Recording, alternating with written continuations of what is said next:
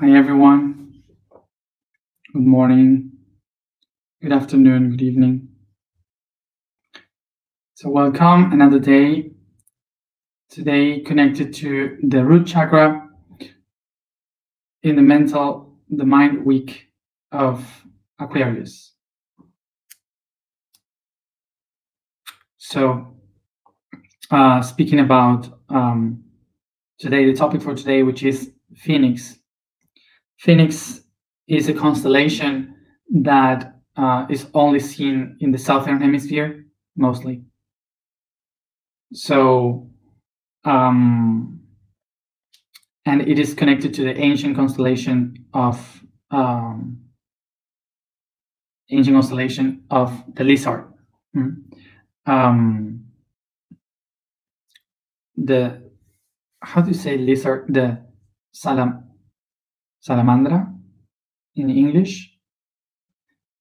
Can someone tell me? Um, so, um, so in such a way, it is connected to the fire. It is a constellation. Um, oh, salamander. Okay, thank you. So it is the salamander constellation too for the ancients in South America. Um, and uh, of course, it's connected to the fire, the element of fire, and um, well, it's um, because today is connected to the root chakra. Is talking about the fire, the inner fire, which is the Kundalini. Hmm? So the the fire of the Kundalini, connected to this constellation in concept, um, is one that that lights the fire so we can burn and we can transform ourselves and to grow back through the ashes. Of course, that today we call it the phoenix because the people that named the stars were explorers in the 15th and 16th century. So they traced the maps of the sky when they were discovering all these lands. Uh, so that's why they use Northern mythology to to explain about the stars. That's why the way of seeing the stars from the south, south southern hemisphere was lost, of course.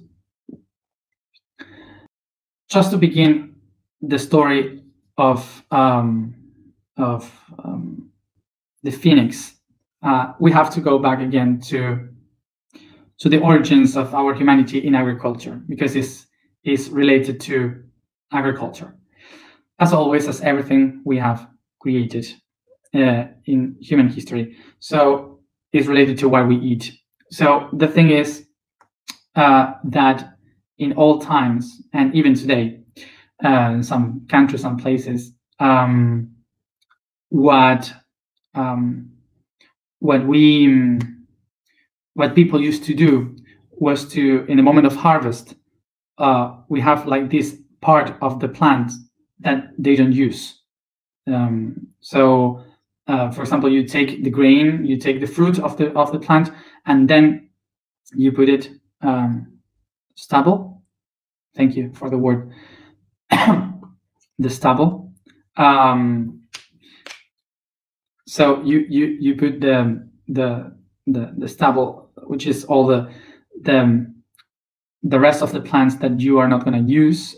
Um, you you put it in um, all together in some in some parts of of the field, and then they burn it. They put fire in it, and they create like a big fire. So what they do with that is to turn all that stubble into ashes, and um, and these ashes are taken to the fields so they could um, um, put all the minerals of the plants on the ground. So it's it's really good for for for the nutrients and the minerals uh, of, of the earth of the fields. So so they can sow again and they can start restart um, like fertilizing the the ground the earth. So that's why you might see uh, people in the in the oil fields burning these stubbles and and using it to fertilize the uh, the earth the land hmm, for the next sowing. Um, in some places, this is very natural. Like for example, in Argentina, uh, the Pampa region, which is a flat land, um, uh, it's very fertile because of uh, because of the volcanoes that are in Chile and the Patagonia of Argentina. So these volcanoes um, brings all these ashes and, and nourish the lands, uh, giving them fertility, uh, minerals to uh, for the plants to grow better. So basically, in agriculture, the ashes, the fire is very important. So during this um, this process of burning the crops, uh, well, not the crops, the, the fields, the, the the stubble of the crops. Um, once they took all the the the grains and the fruits, they set fire to burn all that to make it into ashes. So because of the heat and the fire in the in the fields, all these little beetles and bugs and and frogs they they try to run away from the fire and the heat. So uh, this is why this bird, um, which is like I don't know what the name, una garza, ¿cómo se dice garza? Uh, like this bird with a long back and neck, usually went into these fields on fire to eat this um, these animals that were trying to to escape the ground. Um, so um, so this this symbolism was seen like this bird um, was was coming in the was coming in the moments of the fire, and remember, is the moment when um, uh, when everything uh, used to end to restart the cycle. Okay, um, crane, that's the name of. Uh, oh yeah, it's a heron. Heron. It's not. It's not a crane. It's a heron. So that bird, um, the the heron, um, was the one um, coming into the fields and eating those little animals. Um, so they walked in, in between the fire and they were flying in the flames. So that's why this bird was related in the in Middle East and, and Africa was relate were related with the fire and the restarting of the agriculture. Because once you set fire to the things, it means that the cycle ended and a new one began. Mm-hmm. So that's why they started to relate this bird with the end and the beginning of a new cycle. Then the symbolism started to be taken into the spiritual world. So they started to see the heron um, as um, as a bird that represented a bird that represented the rebirthing. Like we are when we die, we turn into ashes, and once we we turn into ashes, we are born again into another body. So we come back like the sun, which is turning into ashes in the horizon into the west, and then rising up as fire into the east. So we started to to put this symbol of that bird into the end of every cycle and the beginning of the next one. Mm. So this is how in the Mediterranean Sea, Middle East, Africa, and Europe, this bird started to become the symbolism of the rebirthing of um, and created the symbolism of phoenix, the the bird, uh, because phoenix we now the symbol of um, of coming back again. So everything that dies and turns into ashes, it doesn't mean that it ended. It means that the cycle is going to start again and um, all because of agriculture. So, as always, everything started because of the cycles of agriculture. This is why I think it's really important to pay attention to the to the fields, to the farms, because when you look what is happening there, how the things work, um, you usually would be able to understand all the basis of our spirituality and way of thinking as a human today. So once we understood the origin of this phoenix, let's go into the spiritual concept of the phoenix. So the spiritual concept of the phoenix is that in order to be back to renew myself, to be born again.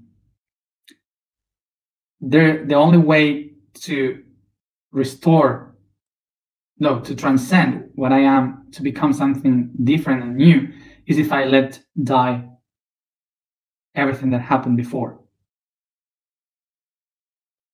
If I allow myself to die. Because when you turn into ashes, all the shapes, all the things that you were attached to, all the beliefs, all the the material, the physical things, they just disappear. All the projections that you had of what you were in your environment, they just disappear. The only thing that remains is the spark.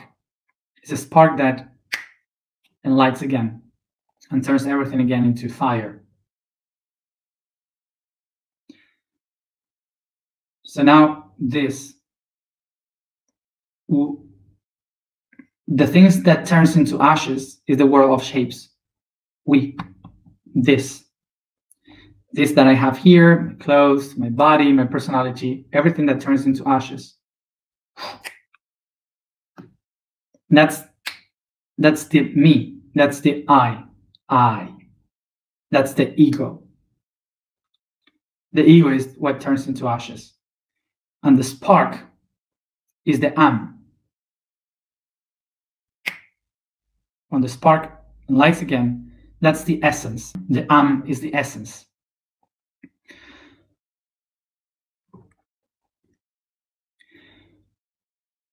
Now it's important to, to remember what I explained at the beginning. The ego, the ashes, are not something that you just throw away because it's useless. The ego is the is the thing that nourish the fields. So something new can grow. Is the minerals, the nutrients for the fields. Without the ashes of the ego, there's nothing new able to be born. Basically, the ego is the tool of the essence that as it grows, it nourishes itself from the outside, from the tools that are around. And, we, and, and the ego start to download information, to eat information, to grow through the information around. And then all those tools that you got, they become in ashes, so the minerals and the nutrients for a new being to come and the cycle repeats again. So it nourish once and again, getting better as a plant in the fields. So, and this is the clue of this transformation that we usually say, I have to let it go. in order to transcend myself, I have to leave all things behind. And it's not how it works you cannot leave anything behind. You cannot abandon things or people. What we do with everything is basically to transform it into something new. So it's not about giving away, leave it behind. That's not what we are really doing in a good way. What we have to do is to recognize that those things must transform themselves. So the mistake that we used to do is to to not to attach to the shapes that they have now. But when we let them go, they're not going away. They're just transforming themselves to be the same thing in a new level of consciousness. The key to all this is to understand that the process of the phoenix is not to make everything that you are into ashes to give it away. It is to just set the things free from their shapes, their forms, so you can achieve the essence. It's not about getting rid of things.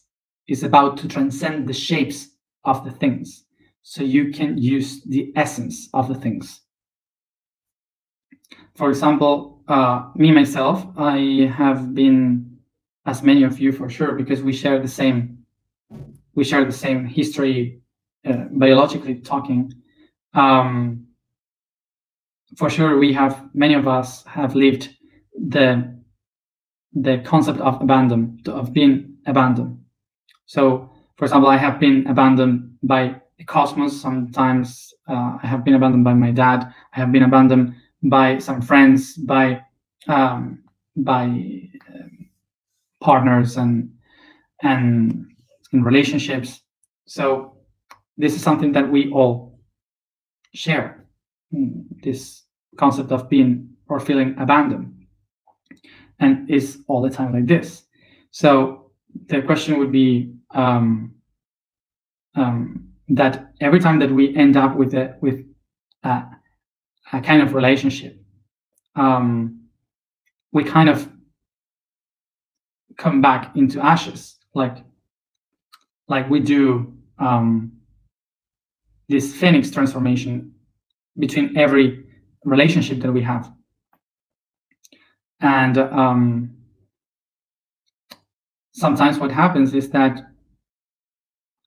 we are so attached to the expectations and the shapes of the things of the first person of the idea that we had of how it was supposed to be and so on that we are so attached to the shapes that every time that we burn and we just burn like from the root chakra like this fire of anger then when we start again in a new cycle we repeat the same patterns with other people with new people and we start to leave that again. So basically, because we are attached to the shapes and we are consuming the same essence once and again. And that's why we repeat constantly. So if we attach ourselves to the shapes, to the expectations, to the shapes of the things, so in the essence, that thing will be repeated once and again. So remember that in Capricorn, we have been creating the basement, the basements, the the basis of a house, the structure of a house. We keep building it, going up. Hmm? We keep building it, going up, following the same pattern. This is the thing that we usually do to follow uh, to follow a pattern. Hmm? So this structure is the one that takes us inside the house. Hmm? This, uh, yes, inside the box, inside this box. And remember that we have been speaking about the box of the Atlantean times, which is the, the Pratikta. So remember that if we keep going with this pattern, the Pratikta is constantly repeating the same pattern, so the same dimension. So you are not going to be able to live this pattern. Hmm? So in order to change the constant repetition of the box, what we have to do is to go away a little bit from the structure of Capricorn into the abstraction of Aquarius. So we could open the box into other dimensions and transform the es- transform ourselves from the essence. So basically, abstraction comes from the word abs, that means to go out, and tract, that means to bring or to take. So to take something outside the limits, which is to go outside the box. So now important. Remember, we have been one month taking care of the structure. So now don't think that this means to break the box and take the structure out. Abstraction means to get out of the box and to think out of the box, not to break the box. Hmm? The structure is perfect, all good, don't break it.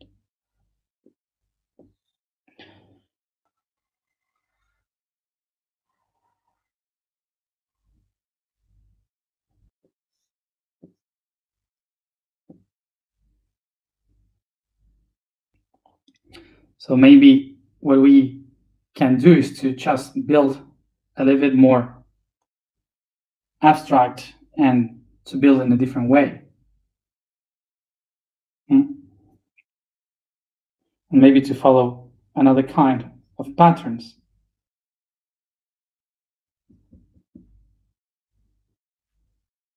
See? So maybe start to find another kind of limits.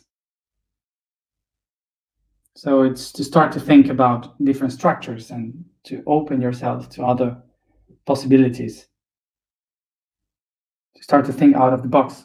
So now let's follow this example. Imagine that this one here is the column of religion. This one here is a column of family, and this one here is a column of um, culture.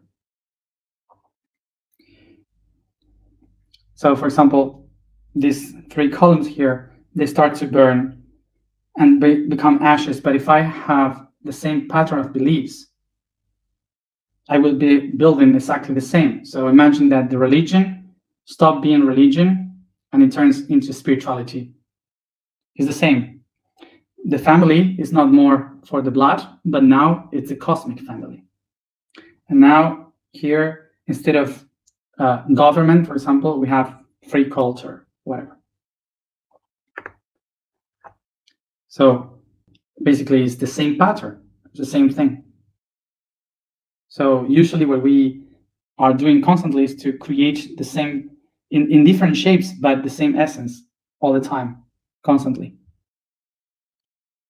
So, for example, if I have here the pattern of family, in order to really transcend from ashes into the essence and to change the shapes of the things. For example, I, I stop seeing the universe as mom and dad, mom the sun, mom the, the earth and the, the father in heaven. We stop seeing like that and we start to think about I don't know protons and neutrons and that um, that for example ourselves um, we are just cells in a body. So we stop building the structure of a cosmic family. You change completely the idea of your belief. So basically, it's to change your point of view and to do it in a different way. Think out, out, out of the box. Basically, the Aquarius energy is telling us to abstract ourselves from the structure which means to understand that you have a structure and that you can go out of the structure if you want. So the task would be how can I abstract from my own structure? And when I abstract from my structure, which is the ego, the ego is the structure of this being. So the ego becomes ashes to nourish this other one. So is that okay? So let's do something to break the structure. Okay? Thank you, everybody, for being here as always. And see you tomorrow at the same time.